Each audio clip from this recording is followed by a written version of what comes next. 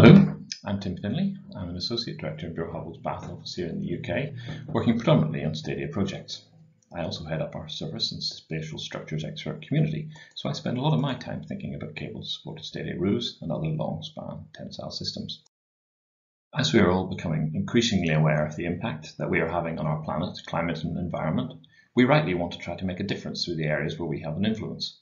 For structural engineers, that means designing structures that use less material, less steel, less concrete.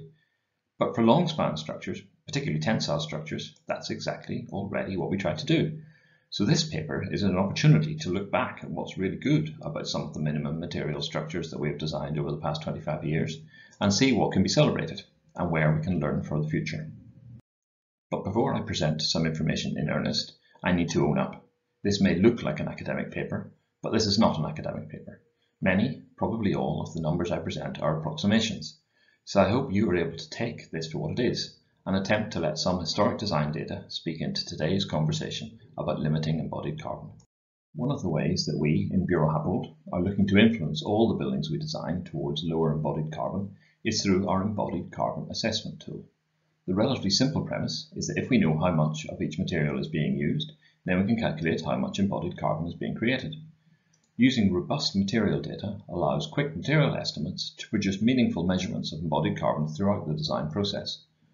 The database of knowledge that we developed allows us to track our progress against our target of moving towards designing zero carbon buildings. I won't go into the detail here, but all the numbers that I present today come out of this embodied carbon assessment tool. I also need to take a moment to thank my friends at Serge Ferrari and Saint Gobain for providing embodied carbon data on the tensile membrane materials. So the relatively simple task today is to look at the embodied carbon within these three long span cable net structures and see what can be learned. You'll hopefully recognise the Millennium Dome and the London 2012 Olympic Stadium, but you may not recognise the Budapest Athletic Stadium currently under construction. In order to give ourselves a benchmark for comparison, I'll briefly show you the kind of data to expect based on a reasonable design data for a generic stadium. My sample is roughly based on the Education City Stadium in Qatar, but it's really just meant to be seen as a large but efficient stadium roof with traditional rigid cladding. Key points to note are that we're seeing a total embodied carbon of approximately 400 kilograms per metre squared, and that can become a reasonable benchmark for looking at other roofs. Don't be confused by the fact that the whole life number is lower than the construction value. That begins to make an allowance for the possibility of recycling some of the material used at the end of life. It's also worth noting that the majority of the embodied carbon comes from the superstructure steelwork, with a relatively small 11% coming from the cladding material. And so, on to the Millennium Dome. It was designed before I started my professional career at Buro Happold, so I didn't have the pleasure of working on it, but I have had reason to troll through the old drawings at various times, and can assure you that it's an absolute pleasure. As you probably know, the dome is not a dome, it's a cable net, stressed between the 12 masts and the ground, and clad in a tensile membrane surface. It's a wonderful lightweight structure. There can't be many other structures of this scale that can boast 32 kilograms per meter squared structural weight, so I was confident that we would be seeing some really exceptional low embodied carbon figures. But we don't. The 300 kilograms per meter squared isn't that great. The why becomes clear when we look at the breakdown. The steel and cladding figures are completely swapped from the benchmark stadium. This time, steel sits at 12%, but the PTFE glass fibre membrane causes a whopping 72% of the embodied carbon. The reality is that the production of PTFE glass fibre membrane generates a lot of carbon.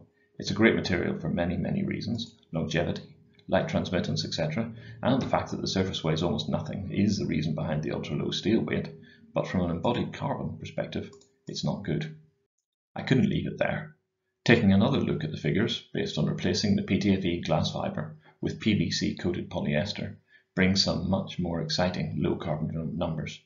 The environmental conversation around PVC coating has many other facets to it, and we would almost certainly be reskinning the dome around now, but the point that we can make here is that an ultra low embodied carbon value really is possible.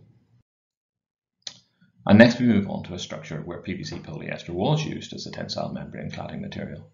Designed for the 2012 Olympics, with embodied carbon becoming a real design driver and cost being the forefront of every UK taxpayer's mind, the 2012 stadium roof was an opportunity to drive material and embodied carbon as low as possible. Coming in at just over 200 kilograms per meter squared embodied carbon, This is a real improvement on the generic stadium roof, and I think can be seen as a good target benchmark for future work we do. The Millennium Dome was a one-off structure, but this is what is realistically possible again and again. And finally, on to a current project. And as you can see, this is an honest appraisal of where we are rather than trying to make the numbers look good.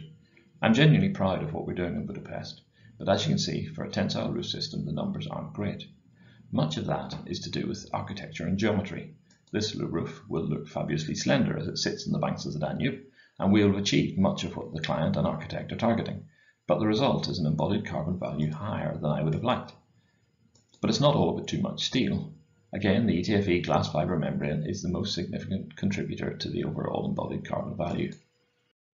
And so, as I come to the end, we'll take one final look at how a PVC polyester version of Budapest would have measured up. Interestingly, it drops in just below the benchmark generic stadium. There's much that can be said about why, but I'll leave it simply with the fact that simply choosing a tensile lightweight cladding system does not guarantee very low tonnage and very low embodied carbon. Geometry matters. On Budapest, I'm proud of what we've created within these constraints, but I'll definitely be pushing harder for a low embodied carbon value next time out. My time's up, so I'll leave you with a few key thoughts. First, embodied carbon accounting is possible and needs to be part of every design we put forward, benchmarked against good practice. Second, exceptionally low embodied carbon values are also possible using tensile systems. Third, efficient structural geometry is key if we want to hit the very lowest embodied carbon values. And finally, we need to understand the impact that the choice of material has, particularly our tensile membranes. We need to be using low embodied carbon membranes, and I'm hopeful that this paper will encourage manufacturers to continue to look at ways to reduce embodied carbon. My time's up, but many, many thanks for listening.